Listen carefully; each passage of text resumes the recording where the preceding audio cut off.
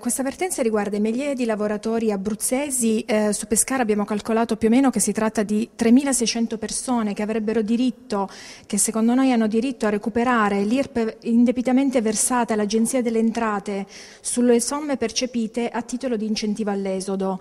C'è una sentenza della Corte europea che ha dato ragione ai lavoratori e ha condannato l'Italia ad adeguarsi e a risarcire praticamente tutte eh, le imposte che i lavoratori avevano versato. Eh, stiamo parlando degli uomini che hanno percepito queste somme dal 1 gennaio del 1998 al 3 luglio del 2006 e avevano in quell'epoca un'età compresa tra i 50 e i 55 anni. Eh, stiamo parlando appunto eh, di migliaia di lavoratori, potete immaginare l'avvertenza a livello nazionale che entità economica potrebbe assumere. E questo è il motivo per cui l'Agenzia delle Entrate nel momento in cui si è adeguata alla sentenza della Corte europea ma perché altro non poteva fare, eh, ha in realtà poi eh, opposto eh, la decadenza, quindi facendo decorrere secondo quelli che sono i suoi criteri il termine di decadenza per la presentazione della domanda dei 48 mesi da quando quando i lavoratori avevano percepito le somme. Ora chiaramente vi ho detto che sto parlando di un periodo che va dal 1998 al 2006, se la sentenza è del 2008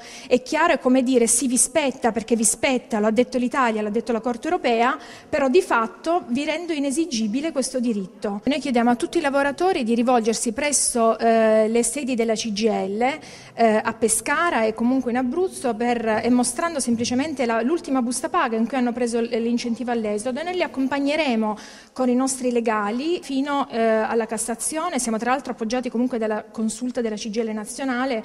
perché andiamo a colpire sempre le stesse classi.